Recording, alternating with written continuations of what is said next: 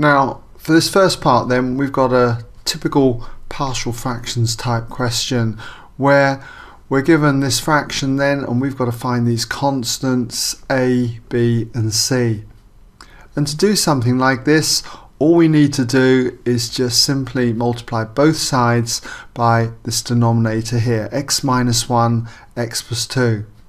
So first of all then, if we do multiply both sides by x minus 1, x plus 2, we're going to get on the left 2x squared plus 5x minus 10. And then for the a, it's going to now be a multiplied by x minus 1, x plus 2. And when we get to the term with the b in, the x minus 1 will get cancelled out with the x minus 1 and leave you with b times just the x plus 2. And for the last term, we're just going to have c multiplied by x minus 1 because the x plus 2 will get cancelled. So we've got this line here and we now need to just try and eliminate some of these terms and we can do that by letting x equal 1 for instance because it'll make this bracket equal 0 okay and this one 0 so it'll just leave us with this term here. So if we say when x is 1 then on the left here we're therefore going to have 2 plus 5 minus 10 2 plus 5 minus 10 and that now becomes equal to notice how I've changed the identical sign to an equals for this because we're working out a particular value. And so this term goes because this is 0 this term we said goes because this factor here becomes 0 and we've got 1 here plus 2 which is 3 so we end up with 3b. So 2 and 5 is 7, take 10 is minus 3 so we end up with minus 3 equals 3b so it follows that minus 3 equals 3b and clearly from this it follows that b equals minus 1. Okay, so that's when we have x is minus 1. Let's see if we can make this factor 0 and we can do that when x is minus 2. So when x is minus 2, what do we have here?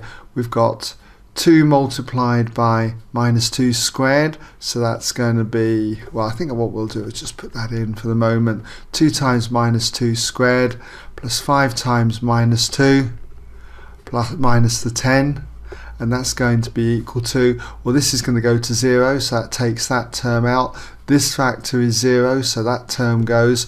And when we get to here minus 2 minus 1 is minus 3 so you end up with minus 3c so if we work this out we've got minus 2 squared is 4 4 times 2 is 8 and then we've got minus 10 so that's minus um, 2 and then we've got minus another 10 so that's minus 12 minus 12 is equal to minus 3c divide both sides by minus 3 and you end up with c equaling 4 now finally we can't make any of the other factors go to 0 so you can choose any value you like for x that's certainly one way of doing it or you could equate coefficients of say x, say x squared or x or just constants. I'm going to let x equal 0 though, okay?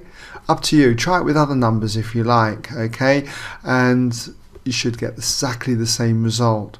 But when x is 0, on the left hand side, this is 0, this term 0, so we just end up with minus 10.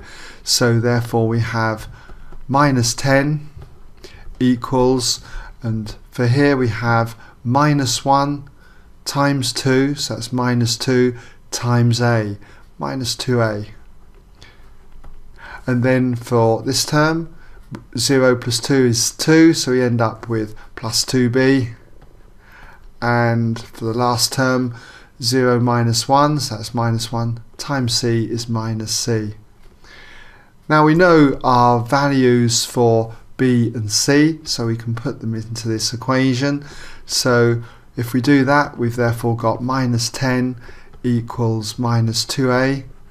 We know that b is minus 1, so it's going to be minus 2. We know that c is 4, so we're going to have minus 4. So minus 2 and minus 4 is minus 6. Add that to both sides and you get 6 minus 10, which means we've got minus 4 equals minus 2a. And if we divide both sides by minus 2, then a turns out to be 2. So it follows that a equals 2. So in summary then, we could just say that therefore a equals 2, b equals minus 1, and c equals 4. Alright?